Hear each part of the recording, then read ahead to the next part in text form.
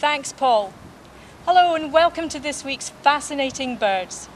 Today I'm here at Bass Rock in the Firth of Forth visiting the largest single island colony of gannets in the world and I'm having to make myself heard over the noise of 150,000 birds.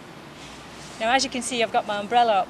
That's not because it's raining, it's more as a precaution against the inevitable accidents from overhead. Let's go and take a closer look.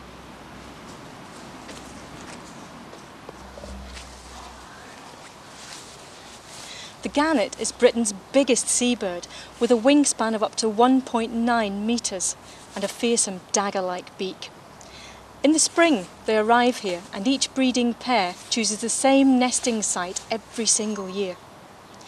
Now they put on quite a spectacle when they're diving for fish.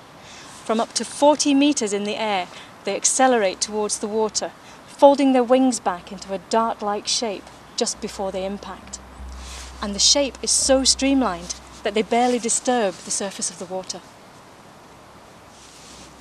Back up here on the rocky ledges, the gannet chicks hatched in April, and by August they're heavier than the parent birds because they're well fed, but they're still nest bound.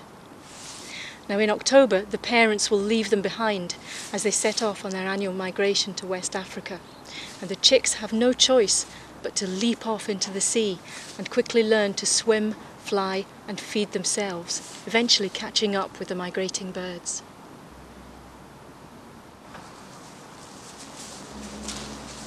So keep an eye out for diving gannets, these fascinating birds, especially if you're on holiday on the Scottish coast this summer.